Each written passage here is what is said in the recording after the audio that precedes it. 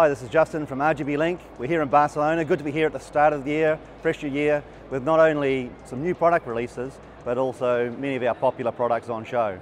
The exhibition's already been very popular, and we're so excited to be showing you, all the visitors, uh, the great things that we've got uh, from RGBlink across video processing, of course our streaming, which has been fantastically popular across so many markets, and importantly here, our Pro AV products as well. There's a big focus for us here at ISE on uh, NDI solutions actually, which are seeing uh, much greater adoption into uh, the uh, corporate AV type markets and you know, generally integrated systems, as well, well as the, of course our, our, broadcast clients that are embracing that technology so well. Just another one of those streaming technologies and signal choices that RGBlink uh, makes available through huge range of signal choices and, and uh, solutions that are available. Well, one of the most uh, popular things on the booth uh, for sure is the uh, new Mini MX that we're announcing at ISE. And this uh, product will be coming a little bit later in the year, but it's great to be able to showcase and preview this uh, new innovation here at the, the exhibition. Mini MX builds on, of course, our earlier products with Mini Pro. Mini MX, here we have those four 4K inputs, two 2K outputs for preview and program, like a dedicated preview. We've also, of course, Mini remains to be a webcam when you plug it into your computer, this time via USB-C. You can record by USB and you can also play back some media and use those as sources on, the, on this new device. The big uh, new thing really I guess on Mini MX is lots more choices of audio and in fact we've got two XLR and quarter inch jack balanced mic ins with phantom power, a line in, line out and a headphone there as well. We're also supporting Bluetooth audio which would be great for those vloggers out there and people using uh, Bluetooth microphone devices. Mini MX brings a nearly 5 inch touchscreen to the Mini for a first time and we now have, in addition to layer A and B, you've got a background layer here as well which can be a static image so you're not left with a, just a black as a background. Layer A and B are fully uh, scalable and positionable anywhere in the, in the pixel space. We've also added capability for still, that's like your channel logo, and the logo is now scalable and usable across in a much larger format across the output display. And not to be outdone, we've also got added the capability for on-screen uh, text display or OSD, which can be configured from the app and allows you to put in user-defined text as an overlay on your output image.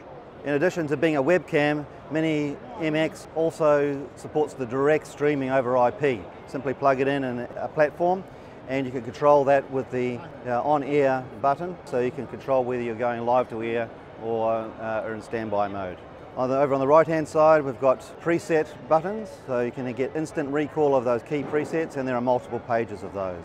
Up on the top left there we've got audio controls. These allow you to set the HDMI embedded audio levels. And along the bottom here is more like an audio mixer, uh, given that there is more focus on audio with this new product. Individual level controls uh, for the external inputs and uh, control for the outputs. And you can override and preview audio to the headphones uh, on demand. And of course, which is unique to our mini series, PTZ control built right in with zoom and focus controls and the pan and tilt uh, joystick. Mini MX is sure to be a very popular item as that comes into release a little later in the year and the feedback already during the exhibition has been overwhelming. We're really looking forward to seeing that in, in everybody's hands. New for 2023 is our range of uh, preview or reference monitors. This is the 24 inch, supports up to four 12G SDI uh, inputs. You can multi-view those as well. Of course, there's all the on-screen diagnostics with the waveforms and so on available here on the, on the product too. For those in the industry and interested in high resolution reference monitors. Already we've had some fantastic feedback and we're looking forward to uh, really great adoption. Super impressed with the quality of the, the display and this actually comes in three sizes. This is the 24 inch, we do a 27 and a 32 as well. There's multiple modes of operation in the reference monitor. You can do multi-screen or multi-view with quads, three down the side, three across the bottom with the main, and you can assign the inputs to each of those four output areas. Along the bottom here you've got preset buttons and function buttons. You can choose your source, uh, select from the HDMI or the SDI sources. On the back panel we've got those four 12G SDIs we talked about. They've got loops on them as well and you've got an HDMI in. Ethernet control, these reference monitors also support tele. Next generation Q16 Pro makes its debut here at ISE 2023 as well.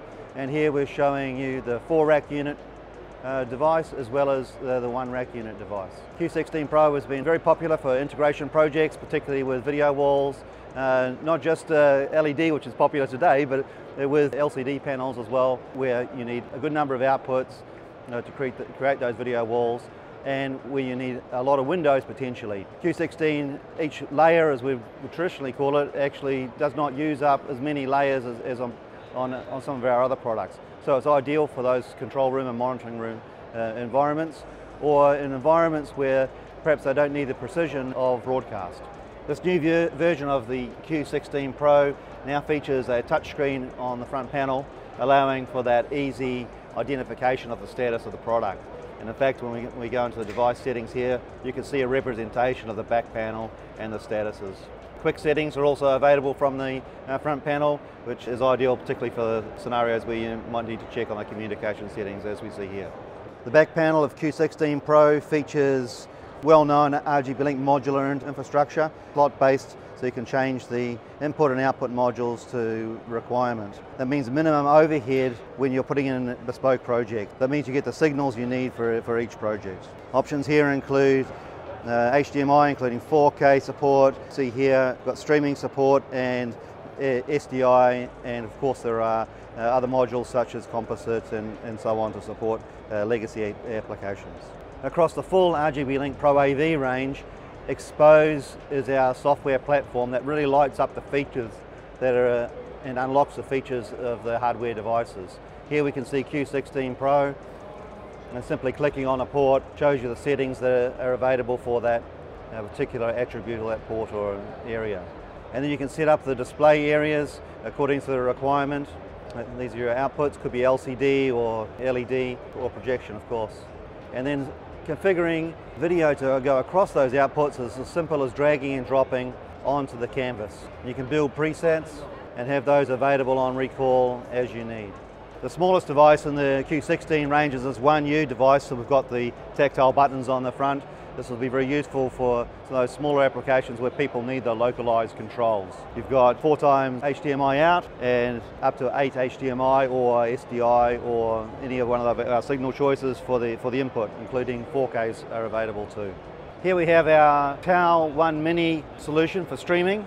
It's really focused particularly on NDI. Here we've got a, showing the example of streaming this camera, encoding this HDMI camera into NDI streaming it to another TAO 1 Mini for decode and output on the display. TAO 1 Mini can also switch between the local port as well, so we can go between the NDI stream and an HDMI locally connected input. TAO 1 Mini allows you to take any HDMI or indeed UVC device and turn that into an NDI device, putting a, the, a, that into an NDI workflow. Uniquely, this also supports NDI HX3. There's the NDI stream coming in, and now we can switch to an, an HDMI source connected locally. Full of features, not just for NDI, but with a clear focus on NDI nonetheless. Uh, you can also, also do RTMP streaming and SRT as well. It's been great to be here at ISE showing uh, so many of the new products and of course the old favourites. So many of the people, both friends from before and making new friends. We're ready here at RGBlink to show you what you can do with streaming of course and with our Pro AV products. We look forward those to being integrated into as many applications as possible all over the world. Look forward to seeing you again and welcome you to RGBlink.